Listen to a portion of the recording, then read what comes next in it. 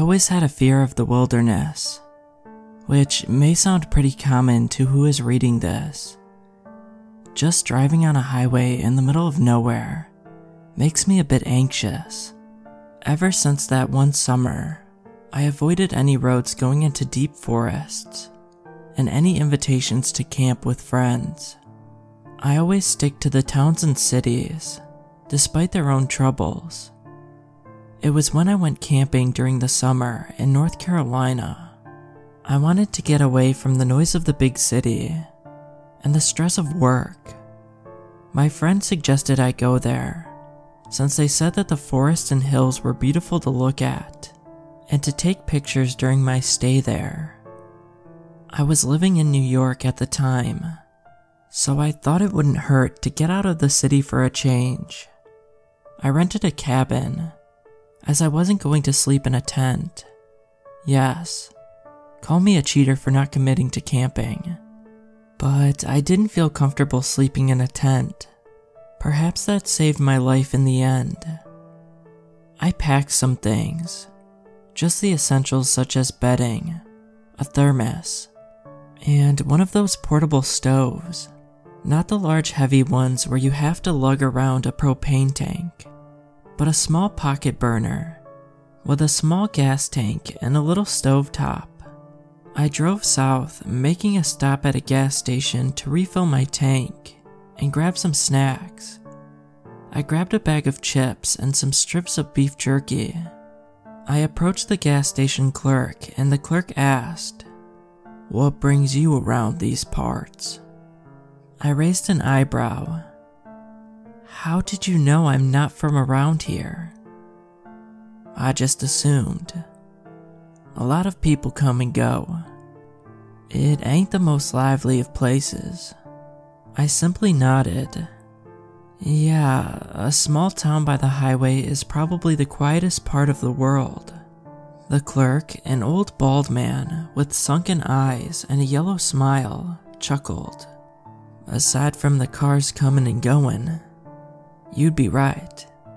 If you want real quiet, there's the woods down ahead. Say, I'm going camping there. I heard the mountains are nice to look at. Heard they look blue in the sunrise. You going camping there, huh? Well, you city boys are impressed by the simplest things. I just be careful at night. Lots of things out there you don't want to mess with. I scoffed at the thought. Come on. I doubt there's mountain lions or bears in there. I'm sure I'll be fine. Yeah, critters ain't going to bother you much. The clerk chuckled under his breath as if I didn't know what I was getting into.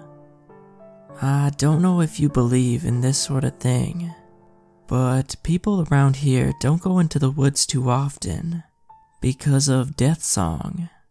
I doubt anyone knows about the Death Song, except the people in this small town by the highway. At first, I was curious to hear what this was about. Death Song? What is it? Some people say that if you're in the woods around these parts at night, you hear singing of some kind. That singing leads to your death if you don't leave those woods right away. Do you believe in the death song? I asked. The clerk shrugged. Never heard it, but I ain't risking it either. I nodded, indicating that I was listening. I then asked, So, what else have you heard about the death song? Some things here and there. A few tell that the death song comes from a singer who made a deal with the devil or was killed by their lover and cursed to the woods with her last breath. Either way, it's a ghost of some kind or another. I was interested in the folklore these people have, thinking it was more artistic rather than frightening. I then said, Well, I better not take too much more of your time. I got a cabin with my name on it Hope you have a nice night over there, sir. let me know if you see anything. I got my chips and beef jerky and went back into my car, finishing up on refilling my car's tank before driving off to the campgrounds. When I got there, I was surprised that no one else was camping, and I was the only one there. I guess the people of the town really believed in the death song, and I should have when I arrived there. I parked my car in the lot before getting out, grabbing all of the things from my trunk before trekking to my cabin. It took half an hour to reach the cabin. It was small. When I went inside, it was only a bedroom and a bathroom. If you're wondering about the bathroom, there was plumbing. There was a walk in shower and a functioning toilet. I set my stuff down and closed the front door, pulling out one of the books I bought for the night How to Kill a Mockingbird. It was later at night when I started hearing it. I was reading my novel, but I began to hear something from outside. I couldn't hear it very well from inside, but I cracked open the one window in the cabin and heard the playing of a banjo from a distance. It echoed through the trees, and the crickets were dead silent. Usually, crickets are chirping, but all I heard was the banjo. A man's voice began singing from the woods. Hey there, hey there, don't lie to me. Tell me where do you sleep last night? In the pines, in the pines where the sun never shines. You shiver the whole night through. I closed the window, getting on my boots and my jacket. I then went outside and called out, Hello, is anyone there? I was only met with the banjo strumming in the forest. I then heard the man sing. He calls out into the pines, Oh, it's the end of the line. Oh, the wolves, oh, the wolves, for blood they look. Better hide if you love your life. I heard howling in the distance coming closer. I felt my heart race and my breath become heavy. I then rushed back into the cabin, locking the door shut before sitting in a corner by the bed. I looked around frantically as I wondered if the wolves were coming. True enough, I heard barking and growling near the cabin. I could hear their footsteps on the dirt, circling the cabin. One of them was scratching upon the door. If I had to guess, there were probably four or five of them out there. Judging from the sounds I heard, more kept scratching, and now they were barking and clawing at the door. I didn't know if the door would hold for much longer. Then there was a singular howl that silenced the wolves, and I heard the pack all run off into the woods. I cracked open the window only slightly and heard the man with the banjo sing once again. There's a man, there's a man called Bloody Ben. Killed this dad on April 10. Better run, better run. Your time has come. You'll be six feet in his lawn. I know most people would stay in their cabin if a killer named Bloody Ben was coming after them, but this man somehow knew where the cabin was. I got out of the cabin and sprinted out, running into the forest to where I couldn't see the cabin. Unfortunately, I couldn't see much of my way around either.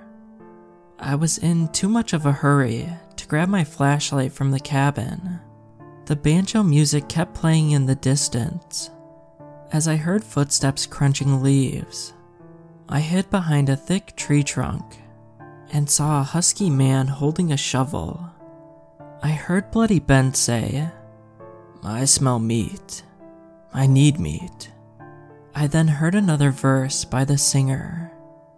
In the pines, in the pines, old Ben will fry and dine on your innards the whole night through. I tried to sneak away from Bloody Ben, but he heard my footsteps. Just like that, he started to charge at me with his shovel, letting out a deep roar from his throat. I ran away, passing by trees as I tried to keep my distance away from him. I needed to find my car and get out of the forest. It was stressing me out that I couldn't find my way around the woods. Bloody Ben was far away from me, but was still trying to find me. I heard his heavy breaths, his footsteps searching for me. That damn banjo was strumming still and echoing through the woods. I heard Bloody Ben say, I'll find you, piggy. I'll roast you for barbecue. I decided to make a break for it and run, hoping to find the parking lot. I already knew he was on my tail because I could hear the loud thumps of his footsteps running towards me. I sprinted through bushes and trees to reach the parking lot. Lo and behold, the parking lot was within sight. I rushed to my car and opened the door, slamming it shut behind me. I then pulled out my keys from my pocket, starting the ignition. I didn't even think when I pulled out of the parking lot and drove away, without any idea where I was driving to. I must have driven all night until it was daybreak. I only went back to the woods by noon to pick up my stuff from the cabin. I had to go back to the gas station to fill up again, meeting the same clerk. So, how was your night in the woods, camper? I replied, It was alright. I think I had enough of the outdoors for now. The clerk chuckled, nodding. I got myself another bag of chips and some beef jerky. He then said, Did you hear the death song while you were out there? I shook my head as I didn't want to think about the night. I just wanted to pretend that everything was normal again. I went back into my car and started the engine as I began driving back home to New York. I swear I heard this, but it was on the radio when I was driving home. It was the same melody as the banjo. The man was singing, Someday, someday, someday you'll die. I'll be waiting in those dark pines. You'll die alone on Railroad 5. A train passing through the pines. In the pines, in the pines where the sun don't ever shine, won't find you for 30 miles. In pieces you'll lie, in the cold, dark pines, oh dead by 49.